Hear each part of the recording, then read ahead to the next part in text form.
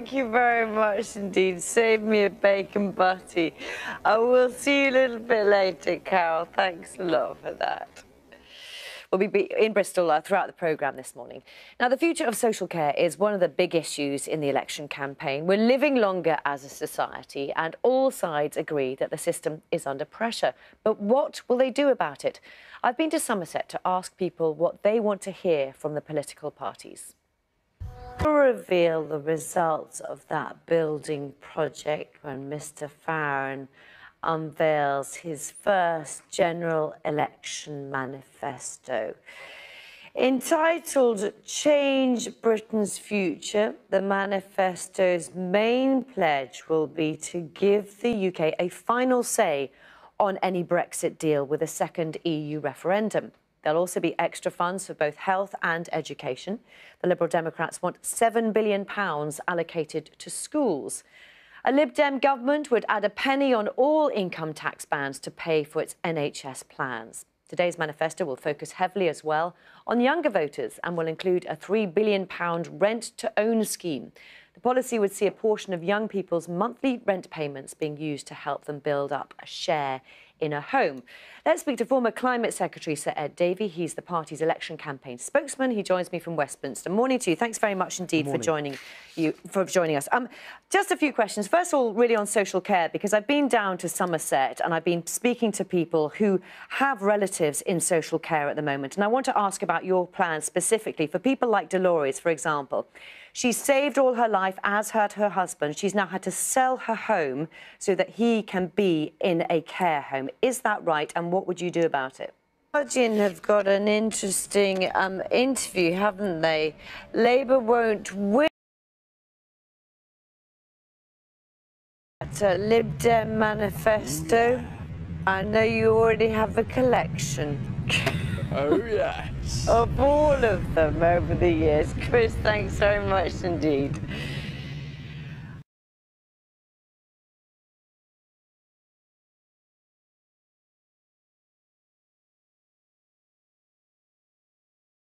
Lloyds Bank says the taxpayer has made a profit of nearly £900 million after the government sold the last of its shares in the group.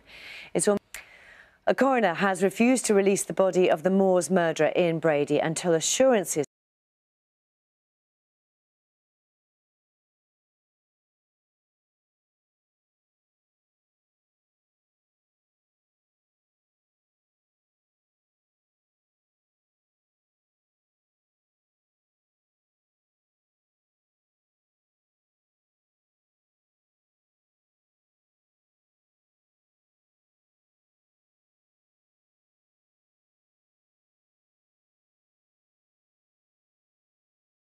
talking about the race for the final Champions League. Which is exciting. Alexis Sanchez proving instrumental again for Arsenal, and it's all coming down to the final day of the season. It could even go beyond that as well for the first time. Which would time, be very exciting. Yes, in the history of the Premier League, we could have a playoff for the fourth place. I mean, it's a slight possibility, and it involves all kinds of mathematics about who scores what and goal difference and all that kind of thing, but it is a possibility. Motorcycle that was on the side of the road. Mm -hmm. uh, lost five minutes on the leader. He was in second place as well, so he was really well placed. But to get up and grind out that time I mean, trial, must uh, knowing that you're probably not going to make up that time. You're not going to be on the podium like you hoped. Robust and brave probably don't really come close, exactly. do they? Kat, thank you very much no indeed. Problem. Thank you.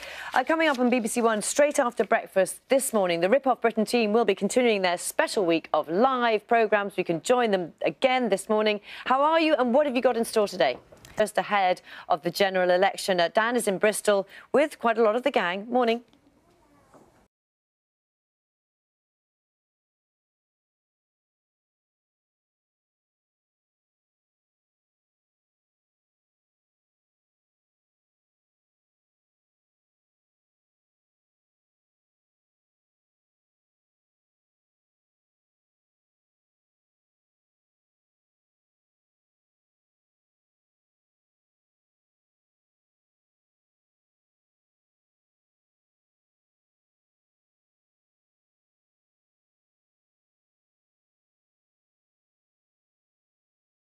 Talking about the race for the final Champions League. Which is spot. exciting. Alexis Sanchez proving instrumental again for Arsenal, and it's all coming down to the final day of the season. It could even go beyond that as well for the first time. Which would time. be very exciting. Yes, in the history of the Premier League, we could have a playoff for the fourth place. I mean, it's a slight possibility, and it involves all kinds of mathematics about who scores what and goal difference and all that kind of thing. But it is a possibility. Motorcycle that was on the side of the road. Mm-hmm. Uh, lost five minutes on the leader. He was in second place as well, so he was really well placed. But to get up and grind out that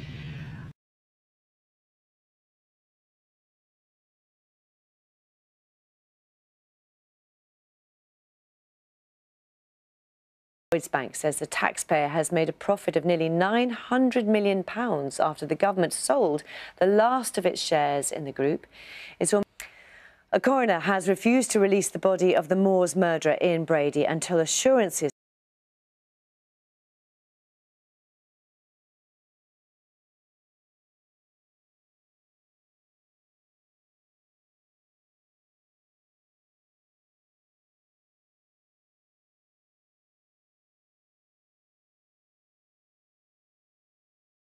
Thank you very much indeed. Save me a bacon butty. I will see you a little bit later, Carol. Thanks a lot for that. We'll be in Bristol uh, throughout the programme this morning. Now, the future of social care is one of the big issues in the election campaign. We're living longer as a society, and all sides agree that the system is under pressure. But what will they do about it? I've been to Somerset to ask people what they want to hear from the political parties reveal the results of that building project when Mr. Farron unveils his first general election manifesto. Entitled Change Britain's Future, the manifesto's main pledge will be to give the UK a final say on any Brexit deal with a second EU referendum. There'll also be extra funds for both health and education. The Liberal Democrats want £7 billion allocated to schools.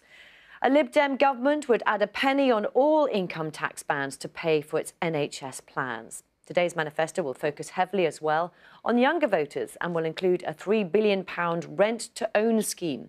The policy would see a portion of young people's monthly rent payments being used to help them build up a share in a home.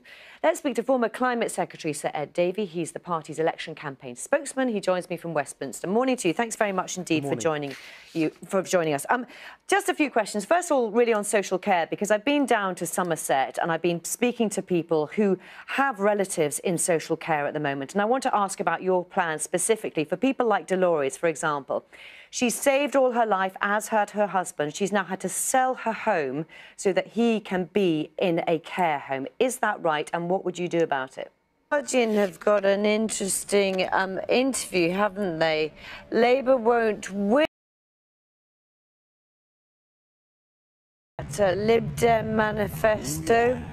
I know you already have a collection Oh, yes. of all of them over the years. Chris, thanks very much indeed.